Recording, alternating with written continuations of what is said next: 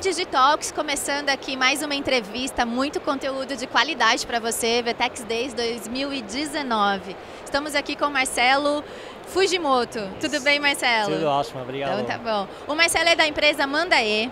E eu gostaria que você falasse um pouquinho o que é a Mandae, para eu começar a navegar por esse novo mundo. Perfeito. Uh, bom, meu nome é Marcelo, sou cofundador CEO da Mandae. Uh, somos uma startup uh, de tecnologia com foco em logística. Né? somos uma plataforma de logística que está transformando a logística em uma vantagem competitiva para e-commerces. a gente atende vários tipos de empresas, mas obviamente o foco é e-commerce. Né? Então a gente Uh, uh, tem um propósito muito forte. Uh, a gente consegue ajudar os nossos clientes a economizar muito dinheiro e tempo, melhorando a qualidade também. Bacana, bacana. É, vou pegar um pouquinho o gancho do mercado, tá? Estão surgindo muitos e-commerces no Brasil.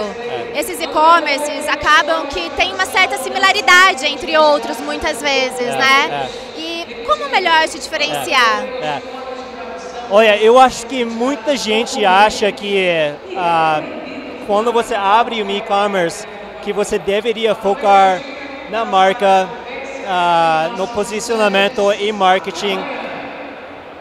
A minha crença, né, minha opinião, realmente é que a primeira coisa que qualquer e-commerce deveria organizar e arrumar primeiro, na verdade, é logística e operações, tá? Logística e operações. Logística por quê? Porque Uh, por três principais motivos. Né? A primeira coisa é custo de frete impacta as conversões. Né? E-commerce é extremamente sensível, né? taxas de conversão são extremamente sensíveis na questão do preço de frete que você oferece no seu site. Quanto mais caro, menor a taxa de conversão. Tá? Uh, outra coisa também é prazo. Né? Quanto maior ou pior o prazo, isso também impacta negativamente as taxas de conversão. Segunda coisa é na questão de qualidade das entregas. Se você não ofertar uma boa qualidade de entregas, você não vai conseguir reter seus clientes também. Isso vai impactar suas vendas e vai impactar também o, o, o negócio no, no, geral, né? E a terceira coisa que tem a ver com logística e operações, né, é que quanto menos trabalho a, a parte de logística e operações gera para você, melhor. Né? E aí, é, quanto menos trabalho você tem, a, a tiver lidando com logística e operações, mais tempo você teria para focar em marketing, né? crescimento do seu negócio, né? marca.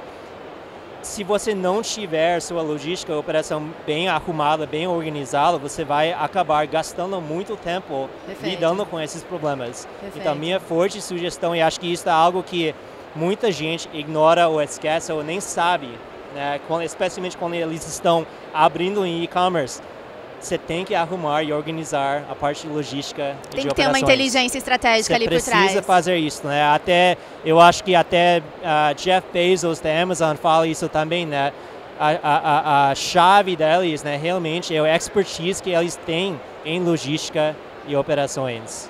Legal. É, dentro desse contexto, o que, que você considera que seja hoje é. a maior dor é. do empresário de e-commerce, é. é. sem, sem ele saber, né? A gente está comentando da logística, mas é. às vezes ele nem sabe que é a própria logística. Quando é. vocês entram num, num e-commerce, o que, que você entende que é a grande dor deles hoje? Uh, eu acho que é logística. eu acho que é logística mesmo, né? Uh, uh, antes da Manda eu tinha um e-commerce também e a gente tinha uma equipe pequena, mas quem precisava empacotar as caixas todo dia, quem precisava levar as caixas até as coisas todo dia era eu. Né? Era uma atividade de duas ou três horas todo dia. Perfeito. Né? Então, uh, consome sem dúvida muito tempo, muita energia. Uh, isso é nem contando uh, os problemas que, que pode ocorrer por causa de logística. Tá? Se você não tiver um bom serviço de logística, vai gerar problemas e reclamações uh, vai gerar devoluções, é, é, atrasos, reclamações, não reclame aqui, é, e você vai ter que lidar com todos esses problemas, né? Uh, eu acho que qualquer lojista uh, provavelmente concordaria comigo, tá? É, é, acho que é, é, um problema muito universal, tá. né? E eu não acho que seja um problema invisível, eu acho que é bem visível sim. Né? Você sabe quando o seu, sua encomenda chega atrasado, porque você vai receber uma reclamação do seu cliente. Né? E daí você não tem opção, você tem que, tem que resolver o problema. Né? Ah, então é um problema muito real, muito visível e, e muito grande também. Né? Legal. É, eu gostaria que você deixasse algumas dicas é. do, de aprendizados dentro é. dessa, toda essa jornada de vocês, dentro do conhecimento, é. para quem está começando um e-commerce hoje é. ou para quem está tendo dificuldades realmente, mas eu acredito que seja mais para quem esteja começando um e-commerce. O que, que vocês consideram que não deve faltar aos olhos, que não deve é, que as pessoas devem se atentar realmente é. É, e falar, olha, se você for por esse caminho, Legal. você vai ter sucesso. Legal. Uh, eu, eh, de novo, né, a minha resposta tem a ver com logística. Uh, eu, eu, realmente acho que uh, qualquer lojista começando no e-commerce realmente precisa organizar isso super bem. Uh, hoje em dia existem várias soluções boas no mercado, tá? Soluções que não existiam cinco anos atrás, certamente dez anos atrás. os correios, né?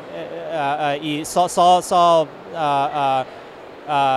you know, só para deixar claro, eu acho que os Correios prestam um super bom serviço, sabe? E, e, historicamente tem sido a única opção no mercado, né? Porém, hoje em dia existe muito mais, tá? É, então, nossa solução, por exemplo, manda aí, né? A gente nasceu, né, para resolver o problema do pequeno lojista, na verdade, do pequeno e-commerce, né? É, é, para esse segmento do mercado, né, a cauda longa do mercado, uh, realmente não existem muitas opções, tá? É, mas existem agora. Né? A Amanda existe, existem outras soluções também. Então a minha dica, a sugestão para qualquer e-commerce né, novo é de realmente pesquisar essas opções, porque esse investimento de tempo né, para pesquisar, estudar, analisar as opções uh, vai gerar um retorno depois. Perfeito. Né? Você vai poder evitar problemas, vai, vai melhorar a qualidade do seu e-commerce, seus, seus clientes também vão ficar mais felizes. Uh, e, e, e, também você pode ter mais tempo para focar em marketing, mais dinheiro também para focar em marketing, crescimento, contratação de outros funcionários, né? Uh, então é, é um investimento que vale muito a pena. Maravilha, Marcelo. Muito obrigada pela sua participação. Não, obrigado a você. Pessoal do Digitox, fica a dica aí do Marcelo, questão de logísticas e e-commerce. E estamos aqui cheio de conteúdo rico para você.